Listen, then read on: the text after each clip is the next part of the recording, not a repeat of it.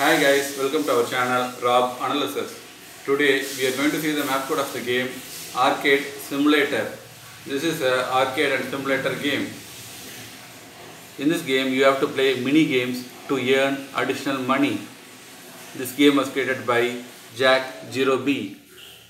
The map code of this game is 4728 5676 3983. If you have any queries, please comment in the comment section. We will try our best to reply your queries. For more Fortnite code, please subscribe this channel. Thanks for watching our video.